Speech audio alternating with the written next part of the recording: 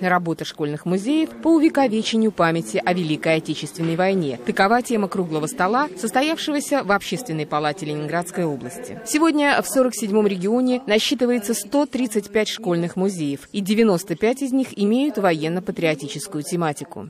Школьный музей, мне кажется, это центр вот патриотической работы, э, сохранения памяти, э, потому что именно в школьном музее это вот такой островок, который позволяет э, проложить тропинку между прошлой историей нашей, между нынешней. Если мы будем помнить прошлое, мы можем смело, наверное, надеяться, что будущее наше будет во всяком случае не плохим.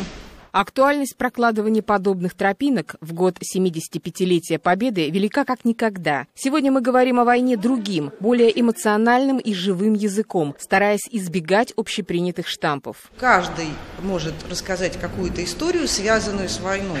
Причем интересно, что рассказывая эту историю, никто не будет говорить о том, что э, никто не будет э, говорить об этом в тех формулах, к которых мы привыкли в советское время. На заседании особое внимание было уделено взаимодействию школьных музеев с учеными и историками. Особенно важной в этом направлении является экспертная деятельность. В школьных музеях зачастую встречаются экспонаты, требующие научного анализа и осмысления. Особую ценность представляют военные письма, которые зачастую бережно хранятся в любом семейном архиве.